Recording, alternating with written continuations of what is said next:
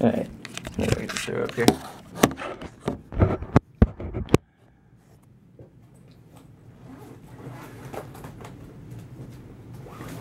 Alright, so I was just curious, like, your study seems really interesting. I'm, thank you guys a lot for getting back to me. You're Um, welcome. I appreciate your time. Sure. Um, I guess like my first question is just what guided you to this like specific field of study individually. Okay.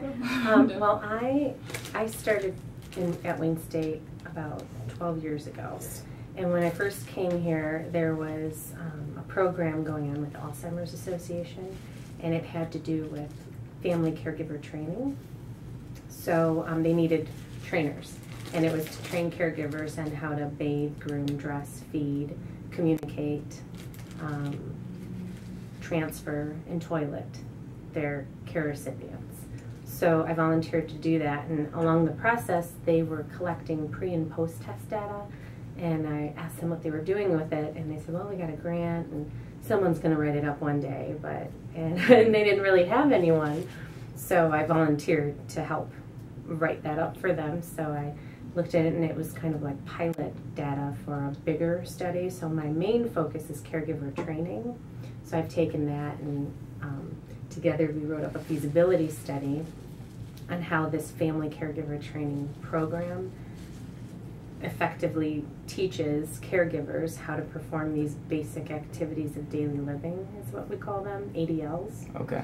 so um, so then i took that and i just defended my dissertation in august on a you know random control trial on how to how, how does this work with a control group if they just get standard care information versus this program and um, I haven't published those results yet. It's under copy editing right now, Mm. but um, but the results were the same. It was Yeah. it increased knowledge for the intervention group, and um, um, we looked at burden, depression, and quality of life, and occupational performance and satisfaction. So confidence actually went up for both groups, but then didn't three months later, and um, and a lot of that is just interacting with people. So the control group re- received an intervention because I was there, and I even though I didn't give them that family caregiver training information, I still gave them attention and I answered Yeah. their questions and and the information I gave them, which is supposed to be standard care, was brand new to them.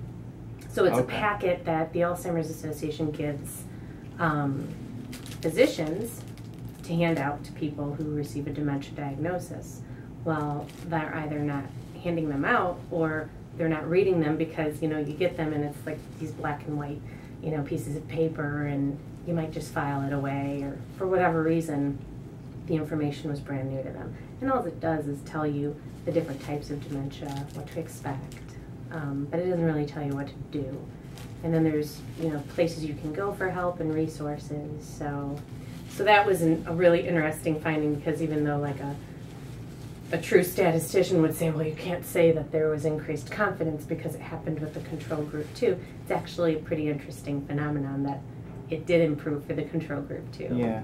So, anyways, I got off target because I was supposed No, to tell you great. just how I got involved, but that was That's how I got involved Yeah. in in uh, Alzheimer's and in uh, dementia. And then quality of life came along because I started working with Preeti, and that's Okay. really her topic. So if you're wondering Yeah. what we're ranting about, we both are occupational therapists, and as occupational therapists, what we are concerned about is the individual, like how do they live life to the fullest for whatever reason. You, know, you may have a childhood disability or dementia or anything in between. So as long when your life, you know, when you have a sure chronic disability, chronic illness or a disability, you're unable to perform your daily activities like feeding, dressing, bathing, grooming. So as OTs, that's what we focus on, your basic activities of daily living and the higher order ones like shopping, marketing. So how to live your life roles, that's what we're concerned about. Okay. So I guess my interest in families came in because as you notice our research is about caregivers. Yeah. You know, as a young OT student and as an early therapist, I, I figured out that our therapy is only as effective as how much we've communicated to the family members because we're there for short periods in their life. Like if we work in an acute care hospital, we see them for two, th- two three days versus Mhm. if you're in a nursing home or somewhere else, like a rehab facility, we may see them for longer time periods, but still the therapist is in and out. And then it's, it's almost like the way our therapy is only as effective as how much we've trained them to become Yeah. like therapists for life Okay. depending on the condition. So that's what, so I guess what's common is for me, I focused on young families. I mean, young children with disabilities. So I, started with the younger population. How do Mhm. parents live, deal with this lifelong? You know, when you have a child with autism, you're caregiving for the rest of your life. And then I met Roseanne, who was doing this research with dementia. So we're like, okay, we have commonalities. hmm And so that online study that you're seeing now sort of now we're trying to combine. We don't care what the disability is. If you are a caregiver, we want to know what the challenges that your family faces. So that's kind of how we came together. Okay. I was curious, um, like, your in the abstract, Mhm. it says that. Uh, well, first of all, I didn't really understand that. You said uh, service Mhm. professionals noted family level dynamics as possible hindering care. So which abstract are you referring to? Sorry. It was. I'm not sure. Pardon me. Yeah, I was trying, she was asking me and I said I wasn't sure. because we have a few papers. I'm just wondering which Yeah. one. Um. You know, actually, I'm not sure exactly. That's which okay. it Was it, do you know, where did, did you get it from like a paper that yeah, was online? Yeah, I found it. It was like on your Wayne State like faculty page. there's a link to it. It one I think it sounds like that paper. Okay, go ahead. Read the sentence. Um, you said service professionals noted family level dynamics as a possible hindrance to like care. Oh, so that came from a focus group study. Yeah, yeah. it's- Okay, so that was, um, The Michigan Family Review yeah, one. the Michigan Okay. Family Review one. So, uh, another study that we did was we looked at early stage, middle stage, late stage caregivers. Uh, actually, early stage caregivers and care recipients Early stage of dementia. of Okay. dementia. Mhm. Middle stage dementia caregivers, late stage dementia caregivers, and service professionals that deal with families and people with dementia. Mhm. And we had a focus group for each group, and we basically wanted to know what what do you need. So for the early stage group, we had a few care recipients who had dementia. Um, it can get kind of tricky because you know sometimes uh, it's just a difficult dynamic you're talking about. Their diagnosis, they, they typically in early stage just received it, and, and now you're in a focus group and we're asking you, what do you need? So Yeah. they, they discussed, you know, what they needed um, and how do you access information and what's important to you, what do you wish you had, what do you wish you would know um, that you don't know, things like that. And so for the early stage, for the most part, I'm trying to remember now.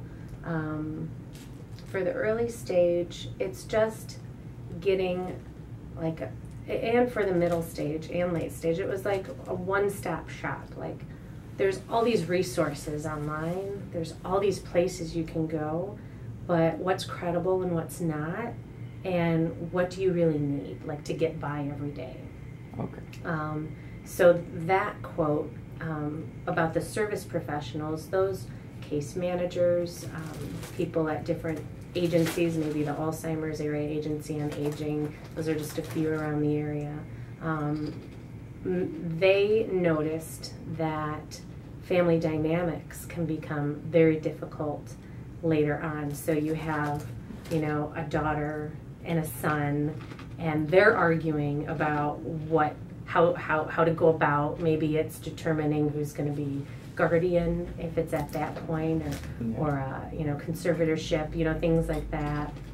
Are they going to be put in a nursing home? Are they keeping them home? Whose home are they staying at? So all of a sudden, all these family dynamics come into play, and they were kind of, you know, it was like, oh, okay, this was something that they really uh, didn't expect, but you know, it makes sense given the Mhm. situation. But that was that was what caused a lot of issues was the families and dealing with you know how do how do we we almost have to make peace with the family in order to move forward with the person Yeah. with dementia Oh. and that can become very difficult because you have to be very sensitive to families and what they're going through um, you know it's it's a very difficult time there's a ton of research that talks about the burden and the depression and the quality of life and and and everything that they feel um, or